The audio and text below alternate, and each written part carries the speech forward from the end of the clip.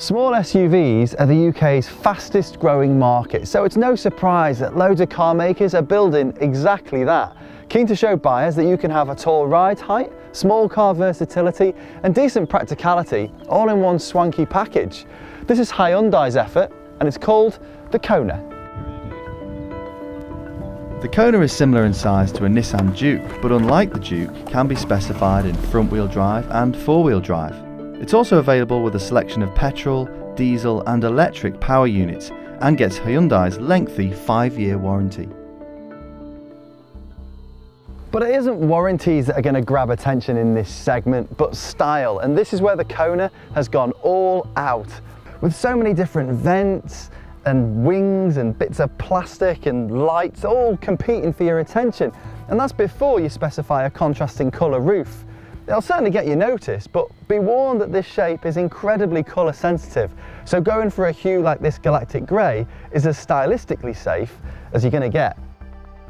While the outside is all crazy shapes, inside is comparatively flat, functional and a bit lacking in flair.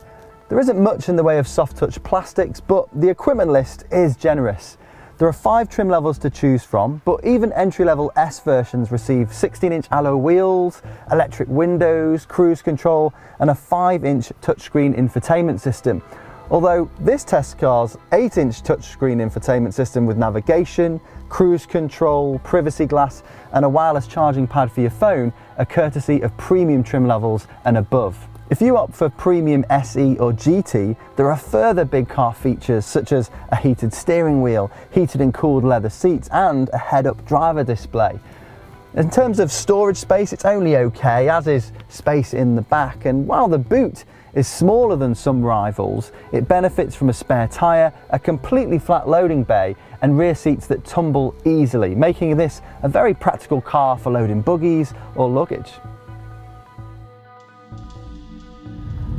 You'd imagine high-sided cars to be quite sloppy to drive, but the Kona is a small SUV that steers keenly, changes direction quickly and resists roll.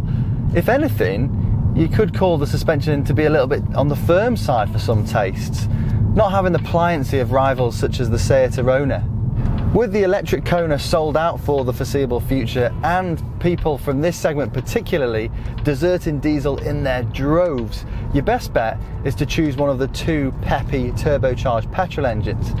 If you want four-wheel drive or an automatic gearbox, which is a very good seven-speed dual clutch automatic gearbox by the way, your only option is the 1.6 litre petrol. Now, while it is quite punchy, there is a trade-off in more cost, more emissions, less economy. So our pick of the range would actually be the smaller one litre turbocharged three cylinder petrol engine, which sounds tiny, but it is characterful and more than capable. It's coupled to a six speed manual gearbox, which has quite short gearing, so it feels quite fun and fizzy around town, although it does get a bit noisy under hard acceleration and at high speed. So this isn't a car you want to spend loads of time on the motorway with, but it is competent and capable. The main reason why people would choose the Kona over a multitude of other models in this crowded market is primarily because of the way it looks.